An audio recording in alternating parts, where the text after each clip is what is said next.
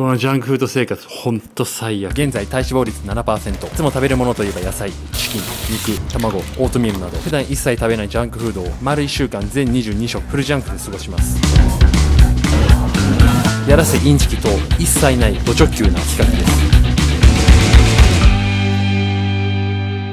健康食ウェルカム。ジャンクフード No thanks But 今回だけはジャンクフードウェルカム。You got feeling oh my God.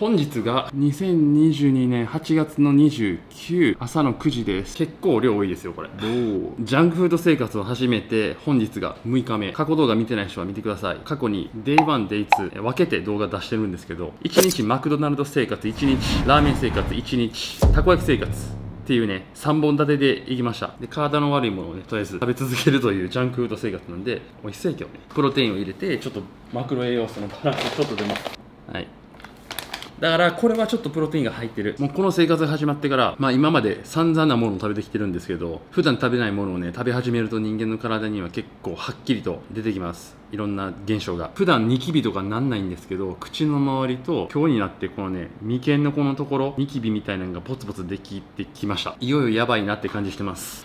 中途半端にこのジャンクフード生活行えないんであのしっかり用意します。アイスクリーム。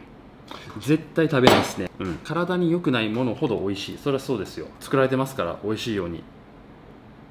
がっつりいきますよ。はは。うまい。娯楽です。これはもう。はい。よく見たしのもんですねこれは。おハマる。ハマった。しかもすげえハマってる。これでいこう。はいがっつりいきます。うんうん。おおわお。フレーバーがねアイスクリームってすごいね。うん。隠し味でねチョコレートが入っとるんですわ。今2枚食べ終わって残りでかい2枚が残ってるんですけどもうお腹いっぱいです。このジャンクフード生活ってあの消化がずっと悪いからお腹空いてると思ったけどね。まだちょっと後で食べますわこれ。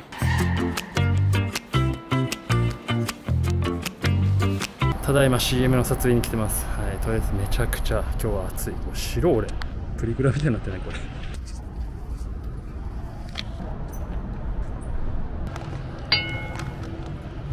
はい。はい。写真一緒に撮ってもらっていいですよ。あすみません。写真写真だけ撮ってもらっていいですよ。いいですか？はい。すみませんちょっと今からキムチの波メガソフトドリンクのコーラで。メガとは聞いてたけどすっごいでかいの届いた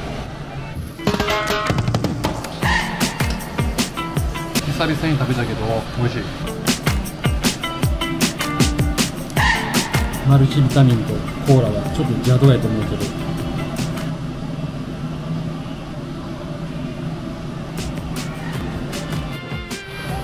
ごちそうさまでした。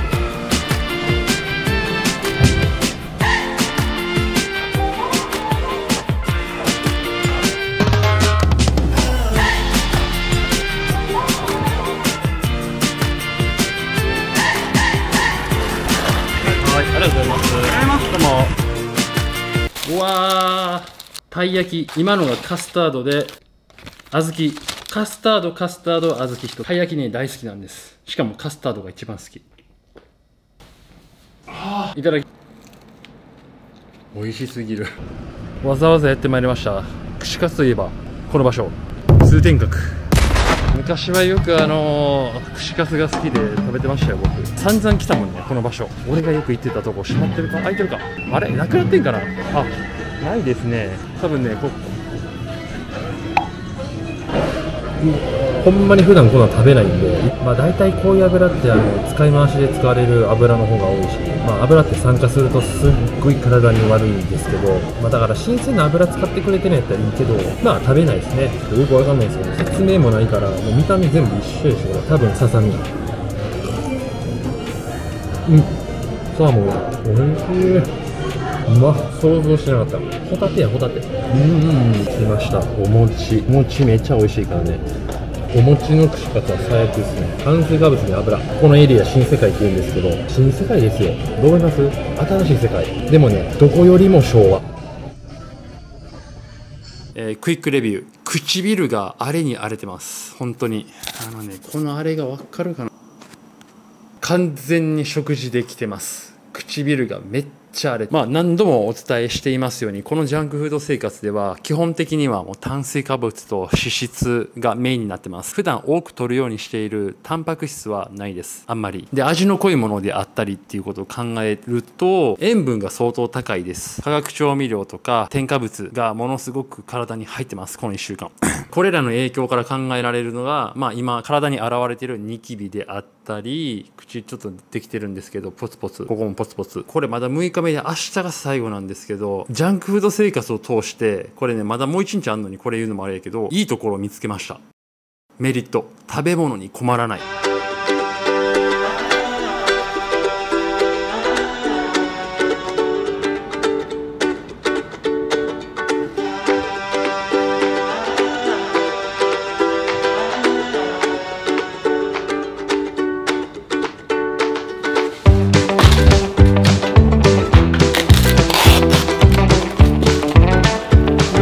さん本日が最終日です。来ました。唇が痛い。ひげ割れしてる、えー本日が8月の30日火曜日です。8月の24日からスタートしてるので今日で1週間です。なんかこれ激辛みたいです。とりあえずすごい。辛いのは僕ね得意なんですよ。多分ねこれいけると思う。全然。ただどれほど辛いかが分かんないです。なんかおもちゃみたいな食べ物っていうイメージがある。匂いが食べ物じゃないよこれ。うわやってもうたかも。もうちょっと違うの選べばよ。かったもう匂いが美味しくなさそう。最終日の一発目激辛のソース。ペヤングいただきます。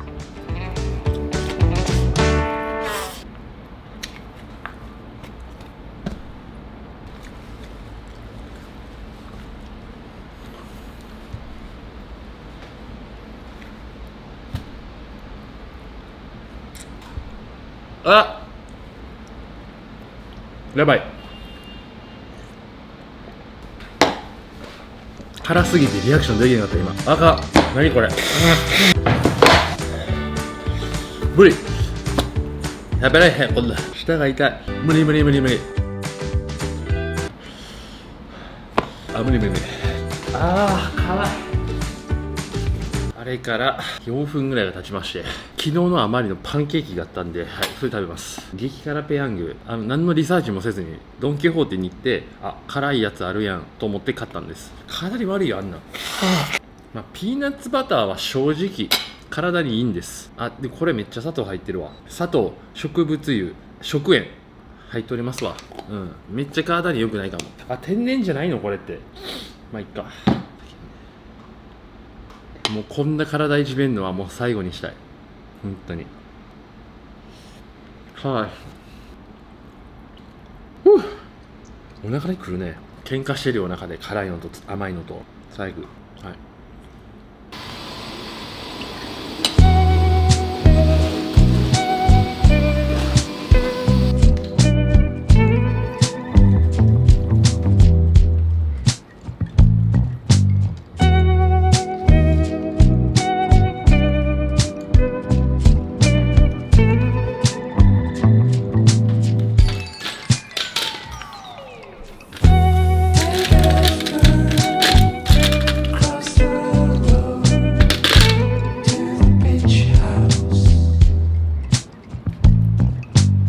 最近の僕のスタイルはだいたいシャツインするスタイルが多いですね。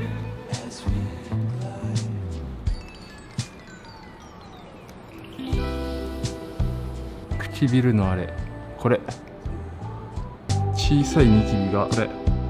今回のこの服のデザインは結構シンプルなんですけどこのハートにケネのマークにストレートライン。袖がね結構長くて着丈も長いんですよ。オーバーサイズっぽい感じの可愛い服なんでスタイルがよく見えて身長が高く見えるんですよ。袖も長く作られていて着丈もね結構長いんですよ。シャツインしてもいいしシャツアウトしてなんか短パンに合わせてもいいしロングパンツでちょっとこう大きめみたいな僕みたいなスタイルに合わせても可愛いし。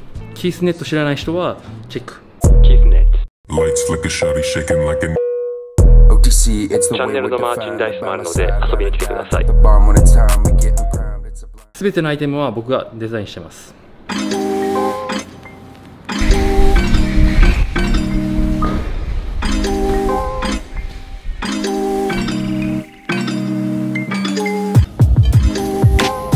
はいこれからお昼ご飯です今回のジャンクフード生活でまだ食べてなかったなんかウニのなんちゃらパスタで大盛りにしてもらいましたパンが食べ放題らしいです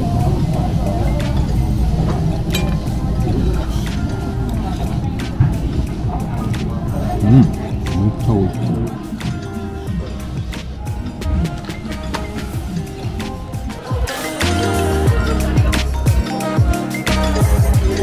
またパンケーキ来てしまった。お客さんの99%ぐらいは女性です。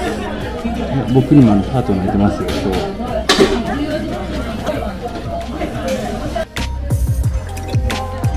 はい、どうも。ミックスジュース。